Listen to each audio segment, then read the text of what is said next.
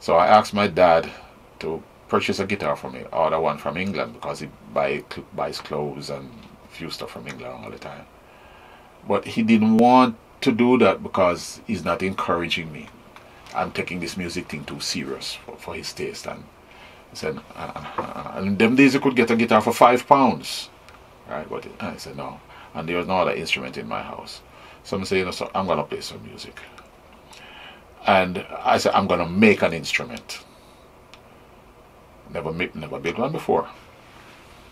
But that's how determined I am. And this thing inside of me just, you see, as a professor later said to me, you did not choose music, music chose you.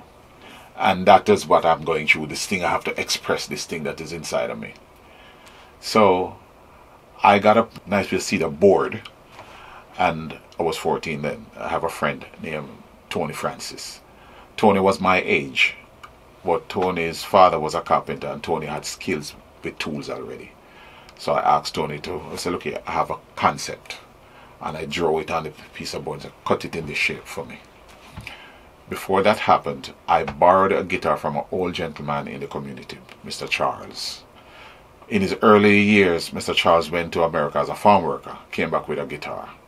And that must have been a long time ago, because you're talking the 60s, and the guitar was so old that it was coming apart. You know, it's a big um, acoustic guitar and for, for it to be losing all that, that, that frame of it, it's old. So I started practicing on the guitar, and my luck, it began to come apart in my hands. I said, oh Jesus, I'm in problems now. How am I going to explain to Mr. Charles that his guitar is going? And I'm nervous that I'm going to tell my parents, and then I'm going to get hassle for it because my dad don't want me to take music that serious. So I, anyhow, I explained to Mr. Charles what's happening to the guitar. I said, don't worry about it, young boy. It's all right you know, it's, it's kind of old anyway. Help yourself. I said, wow, the best news I could have heard. So while his guitar is coming apart, I did I decided I'm going to salvage it and see what I can use to put on my new guitar that I'm building. So I took off the tuning pegs first. I measured the fretboard because you have to be precise with the fretboard. I realized that. And I drew my own fretboard and my piece of board after Tony cut it for me and I begin to sand it put my markers everything connected my um, tuning pegs. Now I'm making an electric guitar not an acoustic guitar because there's no way I have the skill to bend wood. I don't know how they do that so it has to be a solid body electric guitar but my dad doing radio, I understood a little bit about electronics of a guitar, how it works, how to create the pickups. I got me a nail, this is a 10 penny nail. I know if you shock it a certain way with a 9 volt battery or so, it become electromagnet. My dad always have coil wires, you know, copper wires, because he rewind transformers and speakers and everything. And I understood how that worked.